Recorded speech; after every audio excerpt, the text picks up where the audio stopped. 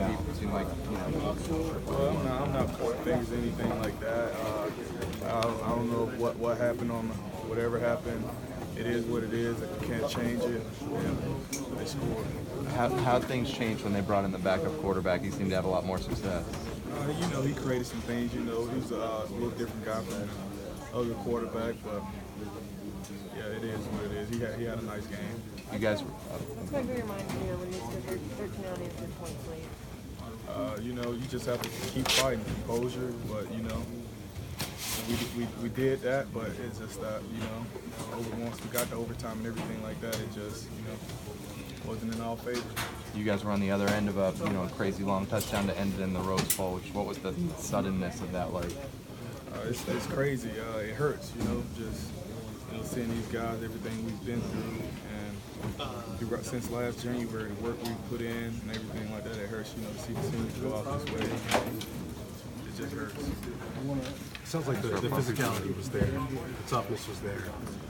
What do you think was?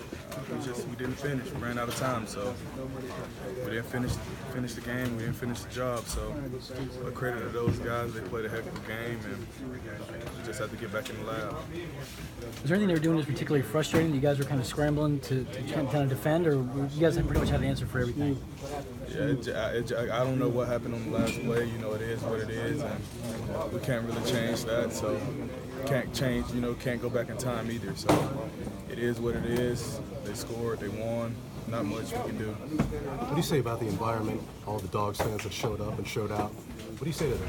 uh, you know, thank those guys you know, coming out throughout the year and supporting us like no other. And it means a lot seeing those guys show up, but it sucks at the same time not, you know, giving them a victory and whatnot. So, like, it just it sucks for everyone. So, it is what it is. With your defense as good as it is, when you're up 2010, do you feel pretty good about things? Well, you know, you have to keep playing, and uh, you, you never can get comfortable in the position that you're in. And uh, coach preaches that day in, day out, and we just we, we didn't make enough plays to uh, win the ball game, and we can't change that. So it is what it is. As great as your defense is, you should a bit surprised that they were able to score you there and rally against your defense. Well, they have a great team, so you know you never put anything over anyone's head. But you know we have confidence in what we do. But it happened. We can't change that. So uh, nah, I don't really know much else to say about that. How about credit to their quarterback who really didn't know much about it and comes in cold and them. Yeah, he, he had an awesome game. You know, young guy came in, you know, did what it took uh, get them the W. So kudos to him. The call hasn't synced in yet. I know you guys have been asked several times this season what the seniors mean to you guys, but can you just one last time tell me what this you know has done for you guys? That means a lot. You know, everything we've been through. Um, some of these guys been here four or five years, and just everything we've been through, they've been through. It just it sucks to see those guys not go out on top. Some of the guys that came back for a moment like this, but actually to win it, and just not to fulfill those guys' dreams and goals. It just it hurts as a whole, and it's not much we can do about it. Uh, or change what happened. So I love those guys to death. They, they've done so much for the program and helped turn the program around. And it just hurts to see those guys not go out on top. Do you, do you feel your team did not play its best game or not even close to it? You know, we uh, you know in every game you have mistakes and whatnot. So we had mistakes uh, here and there, and you know we left some plays out there on the field. But you know I feel like everyone played their hearts out. And that's all you can ask for. You know you're gonna have some uh, miscues and whatnot, but it is what it is. You know, just brotherhood. I love all these guys to death.